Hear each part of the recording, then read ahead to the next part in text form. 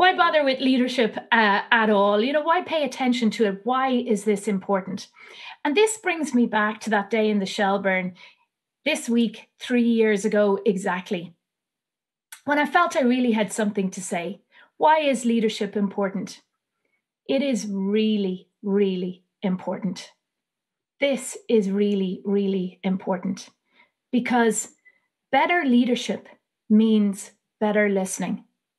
And better listening means that that teenager might get heard or that colleague might get heard when they really need to be heard. Better leadership means more respect. And more respect means that every single person in our country not only knows that they're valued, but feels that they're valued. Every single person in our country feels that they're valued if we increase respect. Better leadership means more empathy. And we know at a time when we're so disconnected at the moment, where we need more connectivity, where empathy is about seeing the echoes of yourself in somebody else or seeing the echoes of them in yourself. Empathy is about really understanding people.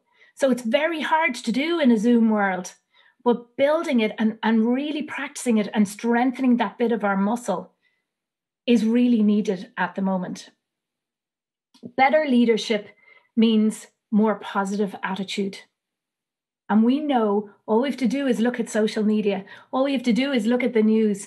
There is very little positivity around at the moment. We need it. Our young people need it. We need to spread it, and better leaders spread it. They spread it around. They spread it through their organizations. They light up rooms when they come into them. They spread it in their communities. Better leadership means that we lead better at our kitchen tables, in our classrooms, in our clubhouses, and in our boardrooms. Better leadership is possible. And what I stood up three years ago and said was, I know that I can do better. And I know that I can be better.